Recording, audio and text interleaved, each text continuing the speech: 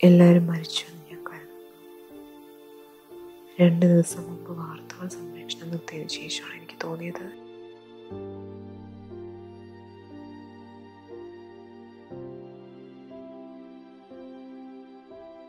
എനിക്ക് അവസാനം ഒരാൾ എപ്പോഴാണ് ഫോൺ കോൾ വന്നതെന്ന് പോലും ഓർമ്മയില്ല. നിർത്താതെ വിളിക്കുന്ന എന്റെ അമ്മ പോലും. എല്ലാം ഒരേ സമയത്ത് അവസാനിപ്പിക്കാൻ തീരുമാനിച്ച പോലെ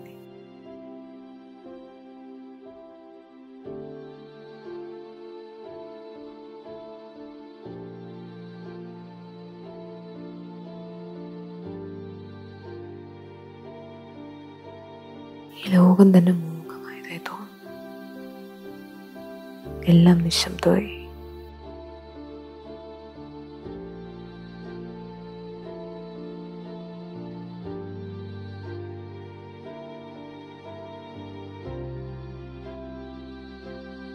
അവസാനമായി ന്യൂസിൽ പറഞ്ഞത് ഏതോ പക്ഷികളിൽ നിന്നും വകഭേദം വന്ന വൈറസാണെന്ന് ശാസ്ത്രജ്ഞന്മാരൊക്കെ അഭിപ്രായപ്പെട്ടു എന്നാണ്.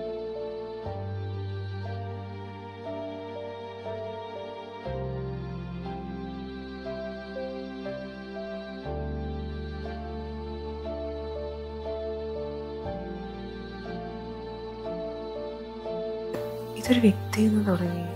പിന്നീട് രണ്ട് നാല് പതിനാറ് മുപ്പത്തിരണ്ട്. അങ്ങനെ അങ്ങനെ. ഇത് വായുവിലൂടെ പടരും അത്രേ. പക്ഷെ അതാരും പറഞ്ഞില്ലായിരുന്നു. എങ്കിലും റിസ്ക് എടുക്കാൻ ഞാൻ ആഗ്രഹിച്ചിരുന്നില്ല. പക്ഷെ ഇപ്പോ ഇപ്പം എല്ലാവരും മരിച്ചു.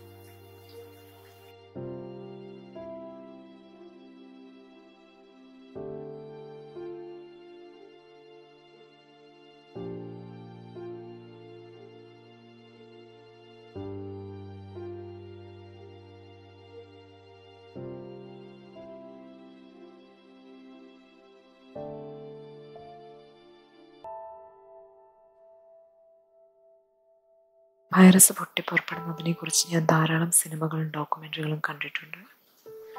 വായുവിന്റെ ചെറിയ ശ്വാസം അല്ലെങ്കിൽ കോണ്ടാക്റ്റ് പോലും ഉണ്ടെങ്കിൽ വൈറസ് പകരുമെന്ന് എനിക്കറിയാമായിരുന്നു എനിക്ക് ചുറ്റുമുള്ള എല്ലാവരുമായുള്ള സമ്പർക്കം ഞാൻ ഒഴിവാക്കി.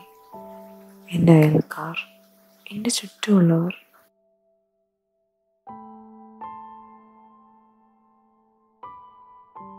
ആരുമായും കോണ്ടാക്റ്റ് ഇല്ലാതെ ഞാൻ ഇത്രയും കാലം പോയിട്ടില്ല.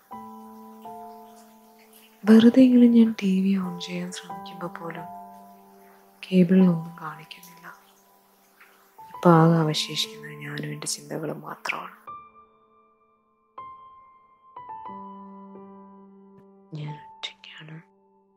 ഇനിയും ഒറ്റയ്ക്ക് തന്നെയാണ് ഈ ജീവിതകാലം മുഴുവൻ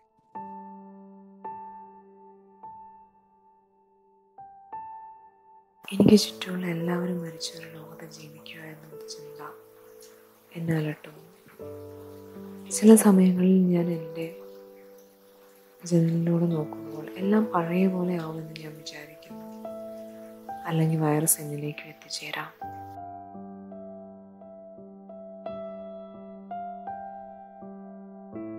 ഞാൻ സാധാരണയായി കീബോർഡിലൂടെ വീട്ടിന് പുറത്ത് ആരെങ്കിലും ഉണ്ടോ എന്ന് നോക്കുകയും കാതോർത്തിരിക്കുകയും ചെയ്യാറുണ്ട്.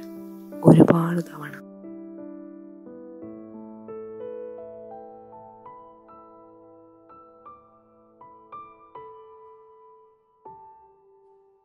ഇതുവരെ ഞാൻ കണ്ടില്ല. ചിലപ്പോൾ ഒരു പൂച്ചയെങ്കിലും ആ വഴി പോയിരുന്നെങ്കിലെന്ന് ഞാൻ ആഗ്രഹിക്കാറുണ്ട്.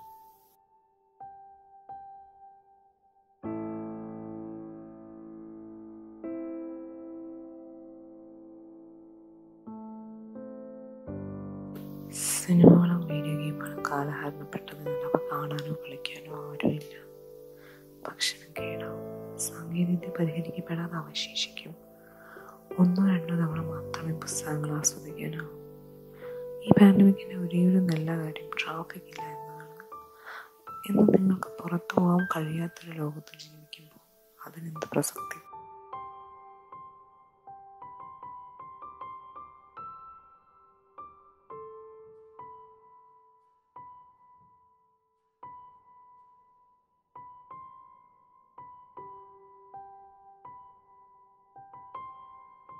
എനിക്ക് എത്രയും വേഗം ഇവിടെ നിന്ന് പോകേണ്ടി വരും.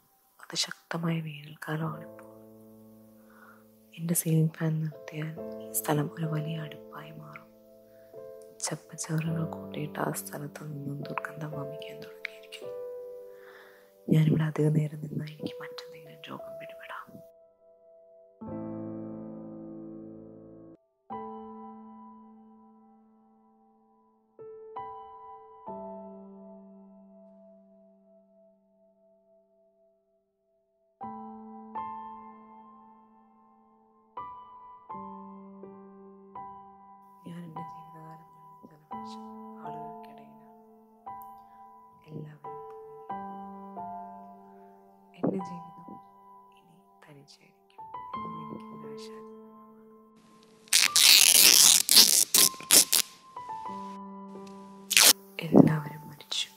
എനിക്കറിയാവുന്ന എല്ലാവരും എന്റെ കുടുംബം എന്റെ സുഹൃത്തുക്കൾ എന്റെ സഹപാഠികൾ എല്ലാവരും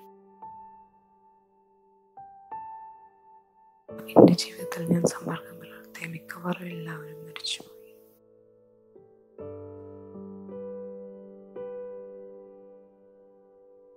അവർ മിക്കവരും ആ വാതിലിന് പുറത്തായി ചുറ്റി നടക്കുന്നു കാത്തിരിക്കുന്നു. എനിക്ക് വേണ്ടി.